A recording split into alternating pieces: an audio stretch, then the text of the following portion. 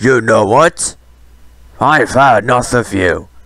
I now hate you for good, for giving me in seizures. And everyone is right about you and your gang. I cannot stand you giving me in seizures. Goodbye forever.